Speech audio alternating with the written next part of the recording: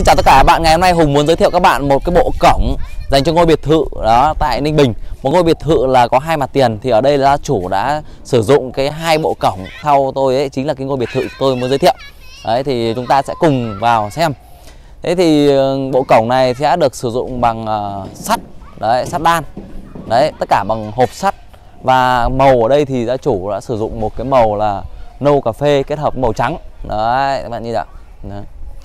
Ok, ở kích thước bộ cổng này 3m2, 32 đấy, 32 chiều rộng và chiều ngang là rơi vào khoảng hơn 2 mét.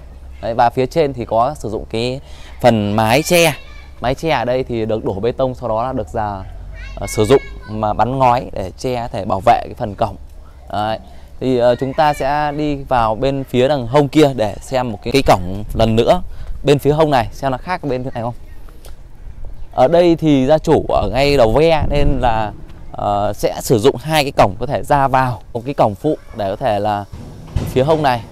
Nhưng mà ở đây thì cái cái hình thức thì cũng giống như cái cổng chính. Rồi.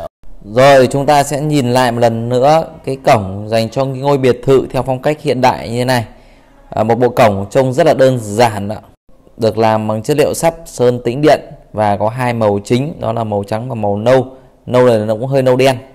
Và đây là phía nhìn từ xa tổng thể một cái ngôi ờ, biệt thự theo phong cách hiện đại, nhưng mà có một bộ cổng rất là ấn tượng.